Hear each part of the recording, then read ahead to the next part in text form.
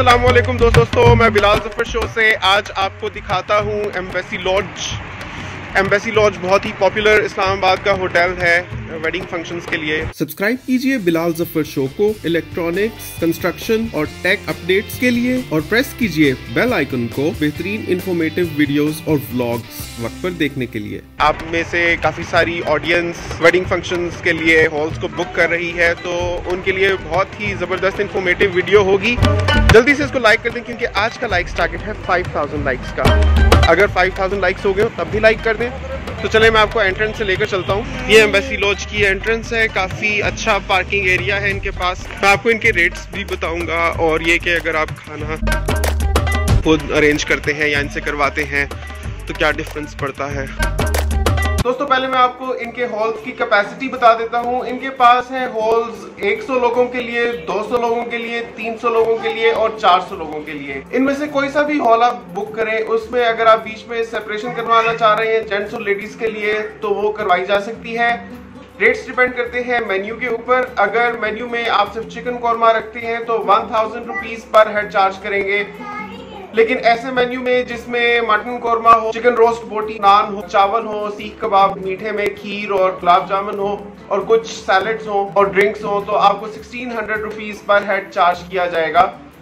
चाहे कोई सा भी आप इनमें से होल बुक कराते हैं डेकोर की बात करते हैं तो डेकोर स्टार्ट होता है टेन थाउज़ेंड रुपीज़ से, और वो कितना भी ऊपर जा सकता है। इवन दो लाख का भी स्टेज होता है डिपेंडिंग अपॉन के आपकी क्या प्रेफरेंसेस और चॉइसेस हैं।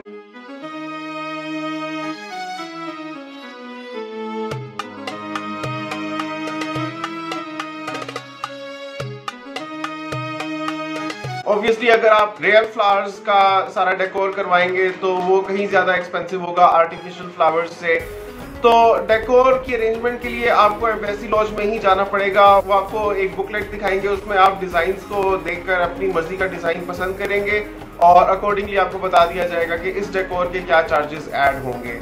तो अगर आप बिल्कुल डेकोरेशन नहीं करवाते तो फिर कोई चार्जेस उसके नहीं होंगे, लेकिन मिनिमम डेकोरेशन भी टेन थाउज़ेंड रुपीज़ से स्टार्ट होती है। मैंने आपको मेन्यू के हिसाब से रेट्स बता दिए डेकोरेशन के रेट्स बता दिए। अब बात करते हैं टाइमिंग की।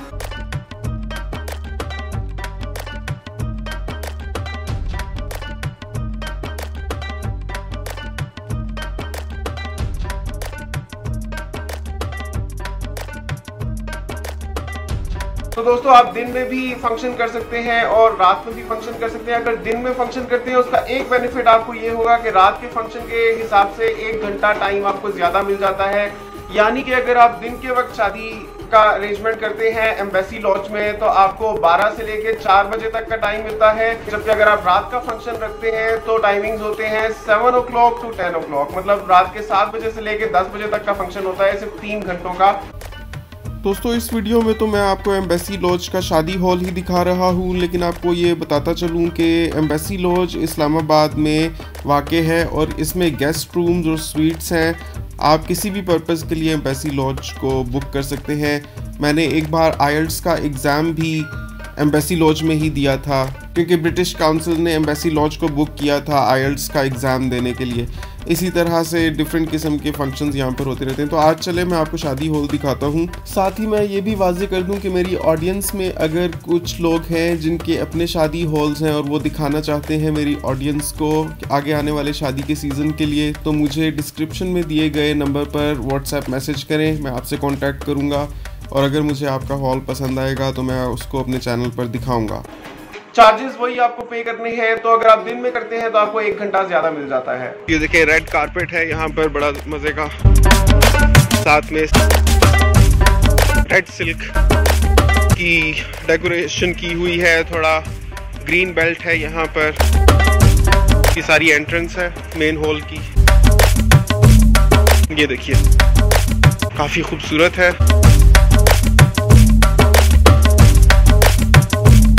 ये आप अंदर जाते हैं।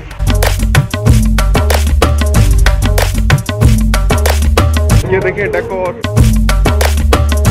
ये आपको मैं स्टेज डेकोरेशन दिखाता हूँ। आर्टिफिशियल फ्लावर्स से है।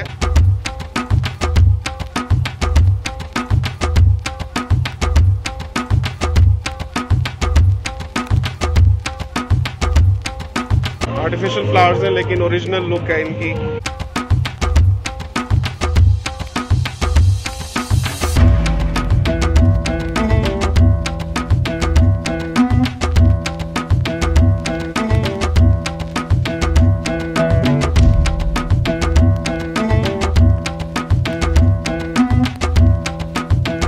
साथ में साउंड सिस्टम है।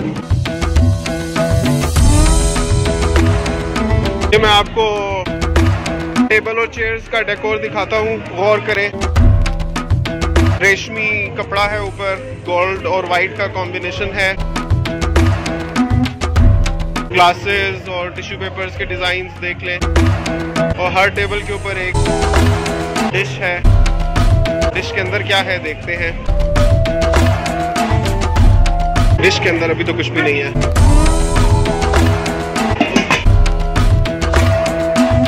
सेंट्रल हीटिंग सिस्टम है। वर्टिकल एयर कंडीशनर्स डेकोर आप देख लें अंदर का। Ceiling lights false ceiling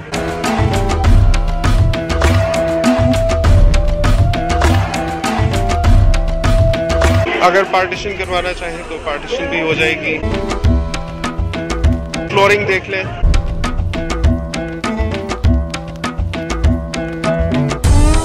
pillars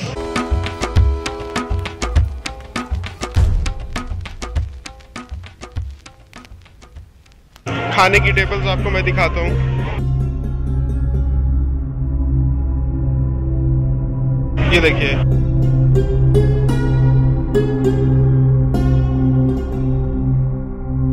इसमें क्या है? नहीं, गुलाब जामुन है, बड़े मज़े के, बहुत मज़े के गुलाब जामुन है।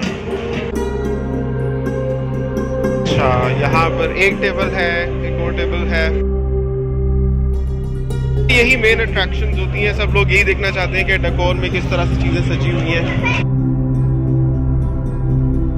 एंट्रेंस पर लोग खड़े हैं रिसेप्शन के लिए। और मैं आपको बैक साइड भी दिखाता हूँ।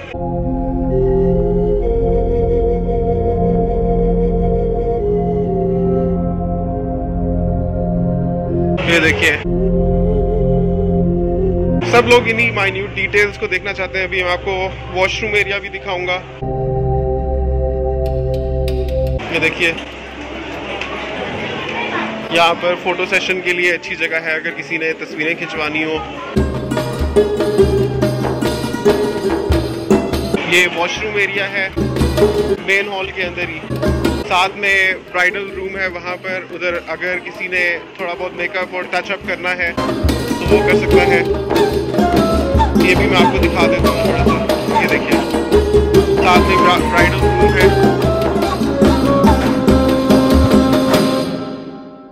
सैलड्स रखे जा रहे हैं। और गुलाब जामुन के नीचे आग दहका दी गई है। चले, मैं अब आपको वॉशरूम दिखाता हूँ। ये हॉल की क्या कैपेसिटी है और कितने में होता है कितने टाइम के लिए, वो जानने के लिए पूरी वीडियो देखते रहें। जल्दी से इस वीडियो को लाइक कर दें, अगर अभी तक आपने लाइक नहीं किया। चले, मैं आपको वॉशरूम दिखाता हूँ।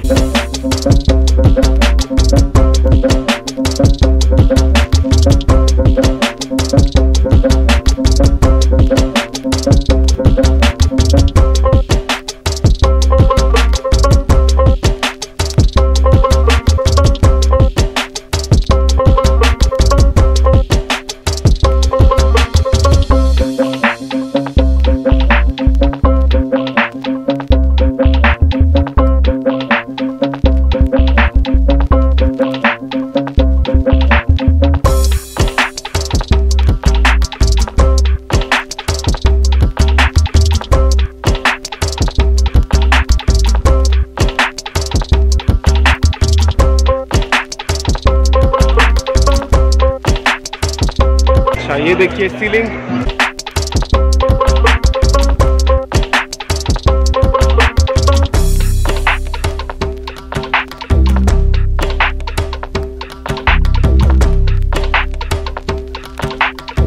ये 270 लोगों की सिटिंग अरेंजमेंट है।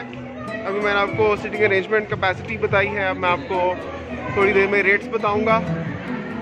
तो चले सारा कुछ तो कवर कर ही लिया है, जिसमें सीटिंग अरेंजमेंट है, खाने की अरेंजमेंट है washroom area stage decor obviously ceiling floor सब कुछ आपको दिखा दिया। तो अब हम बात कर रहे हैं रेट्स की। यहाँ पर खाने की अरेंजमेंट ऐसे है कि हर टेबल पर इंडिविजुअली आप देख रहे हैं कि डिश पड़ी हुई है। तो सब लोग अपने अपने टेबल्स पर खाएँगे। इसका फ़ायदा ये होता है कि लोग हड़बड़ी में ज़्यादा नहीं डाल लेते रिस्क को ज़ाया नहीं करते और काफ़ी कन्वीनियंट रहता है। इधर से डाला, इधर से खा लिया। तो खाने का भी आपको रिव्यू दूँगा कि कैसा है।